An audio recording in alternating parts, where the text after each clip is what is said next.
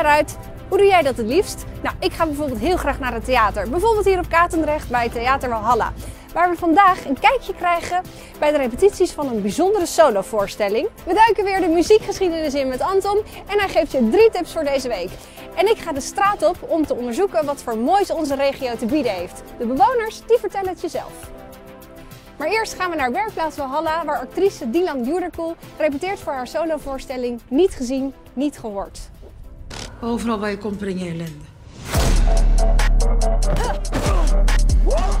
Jong, maar uiterst gewelddadig. Het grote publiek kent haar uit goede tijden, slechte tijden. Maar nu is ze ook te zien op Videoland in de serie Bonnie en Clyde. Op dit moment repeteert ze voor de voorstelling over de dood van Humeira. Hiervoor kruipt ze in de huid van het 16-jarige Rotterdamse meisje. Mijn zus is mijn alles.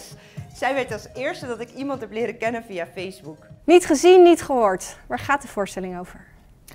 Niet gezien, niet gehoord is een voorstelling over een meisje dat is neergeschoten hier in Rotterdam. En ik ben altijd heel erg geïnteresseerd in de achterkant van, van, van de mensen die we zien in de media. Dus in dit geval het slachtoffer.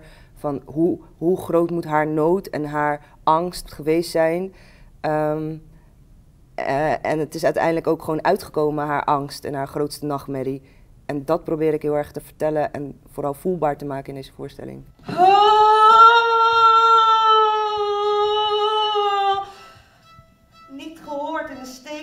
Ben ik. Niet gezien, tekort gedaan ben ik. Als speler probeer ik ook wel altijd een beetje los te staan van, van de ware gebeurtenis. Want het is geen reconstructie, dit verhaal. Het is echt een poging om, om een invulling te geven aan, aan haar angst en haar nood. Ehm, dus ik, ik voel hem wel, maar niet, eh, ik ben niet eh, intens geëmotioneerd. eh. Ik probeer gewoon recht te doen aan, aan, aan haar stem. En waarom wil je dat? Waarom moet dat gebeuren? Dat is een beetje tweeledig. Ik geloof in dit geval heel erg dat ehm, omdat zij slachtoffer is, zij is slachtoffer, dat horen we ook de hele tijd, slachtoffer van. Maar ik vind haar meer dan een slachtoffer. We spelen dit ook voor scholen.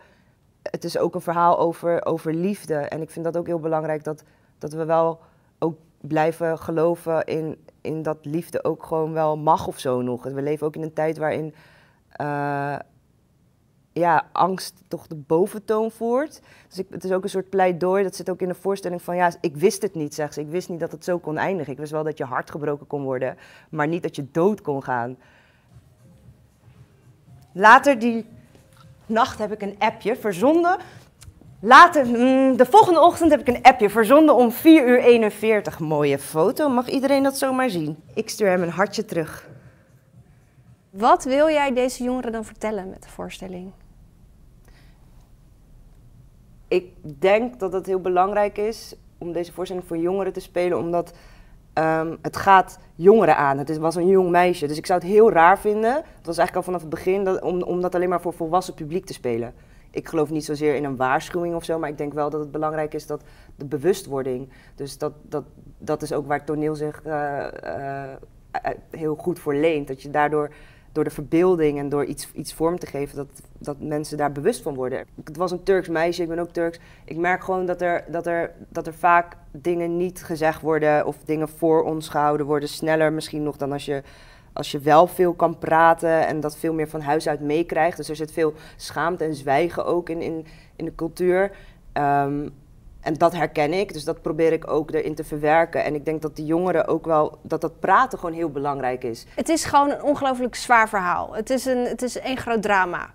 Ehm, ik kan me voorstellen dat je zeker jongeren, maar eigenlijk elk publiek, niet wil opzadelen met alleen maar een ongelooflijk zwaar stuk. Hoe zorg je toch voor bepaalde lichtheid of zelfs humor in de voorstelling? Ja, de, de, de lichtheid en het, en, en, en het zoeken naar humor, dat is altijd zo'n vraag die dan gesteld wordt. Ik schuw niet als iets zwaar is. Als iets gewoon pittig is, is het pittig. Maar er zit zeker lichtheid in. En dat zit hem vooral in, in hoe ik denk dat, dat zo'n meisje geweest is. Eh, wat voor karakter zij heeft. En ook in, in, in, die, in die ja, een beetje. Dus van eh, hoe, hoe, eh, hoe, hoe word je verliefd? Hoe, hoe voel je? Hoe presenteer je je aan de ander? En daarin zitten best wel dingetjes die volgens mij soms best wel grappig kunnen zijn. Of heel herkenbaar kunnen zijn. En die zijn echt wel licht. En ook noodzakelijk.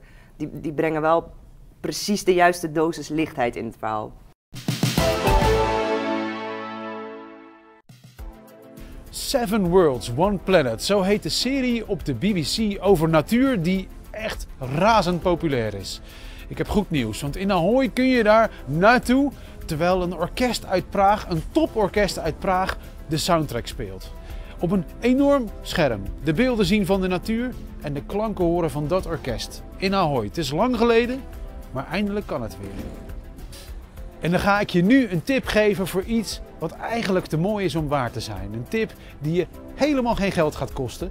Want in de doelen kun je op woensdagmiddag terecht voor de jonge talenten. De beste talenten die we hebben. En dat kun je dus gewoon gratis tijdens de lunch. Een paar dagen van tevoren ontdek je op de site van de doelen wie je kunt gaan zien. En het enige wat je dan nog hoeft te doen is naar de zaal gaan en genieten.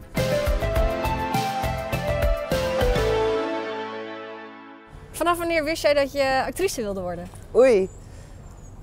Ik wist dat ik actrice wilde worden. Eigenlijk dat ik toen ik in groep 8 zat en de schoolmusical deed. Ja? Ik was altijd heel verlegen en eh, ja, echt zo'n grijze muis. En toen stond ik op dat podium en ik kon er helemaal niks van.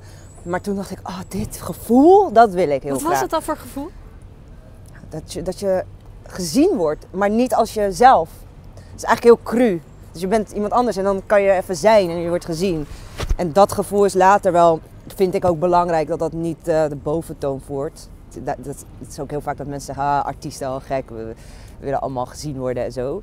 Maar daar is het wel begonnen. En toen ben ik jeugdtheater gaan doen, jeugdmusicals. Ik heb in musicals gespeeld.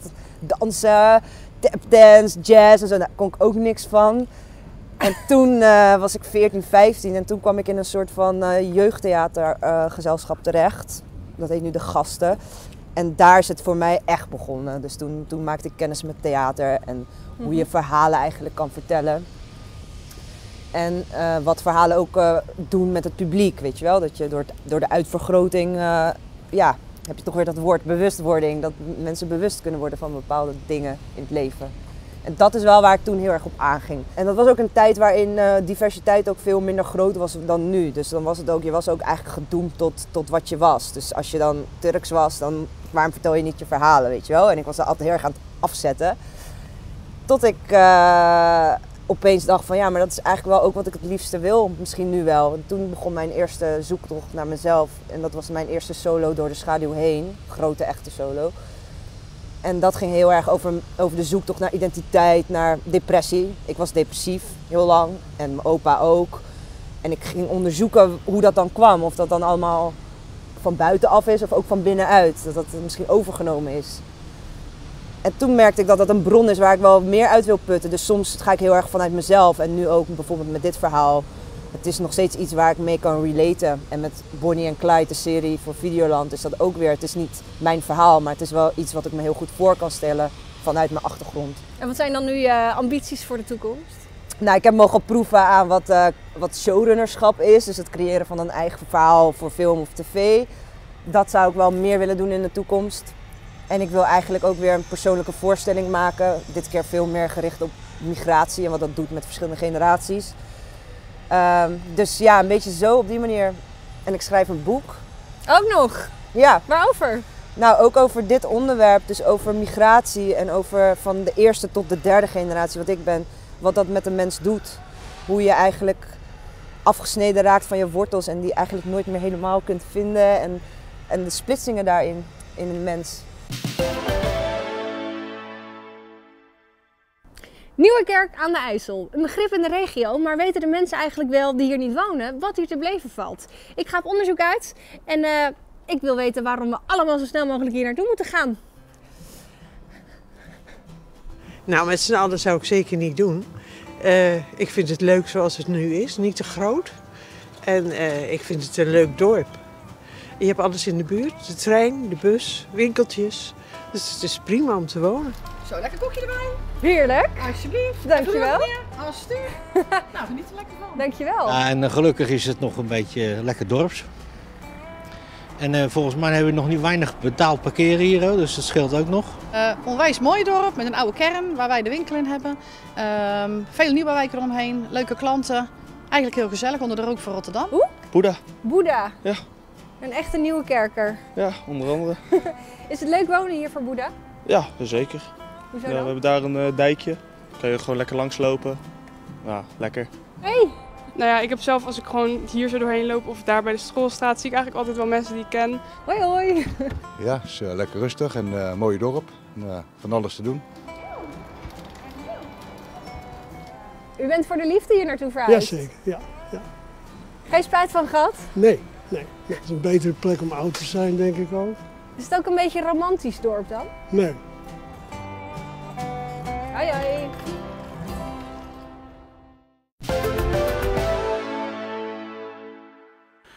In deze rubriek neem ik je mee terug naar de zomer van 1991, als in de Rotterdamse De Doelen een bijzonder festival op het programma staat. Het is het festival Eindabend in Wien. En daarop speelt een dan nog vrij onbekende band, Nirvana. Dat is de band van Kurt Cobain, even later wereldberoemd, maar in De Doelen nog klein. Ze staan om half twaalf geprogrammeerd op een kleiner podium. En daar gebeurt iets bijzonders, want Kurt Cobain blijkt nogal onder de invloed van van alles en nog wat. En na het spelen van wereldhits zoals Smells Like Teen Spirit en Come As You Are gaat het mis. Kurt Cobain wordt wild. Hij smijt zijn podium in de drums en begint, ja, eigenlijk van alles stuk te maken. You are a great audience, roept Dave Grohl de drummer nog. No really, maar alles moet stuk. En de band verlaat het podium in een wervelwind. Nirvana moet een rekening betalen die hoger is dan de gage, maar het maakt niet uit, want de band wordt wereldberoemd. Alleen Kurt Cobain, die bezwijkt onder die druk van de roem. Hij overlijdt drie jaar na het optreden aan een overdosis. Maar wij in Rotterdam koesteren de herinnering. Nirvana was hier en we hebben het geweten ook.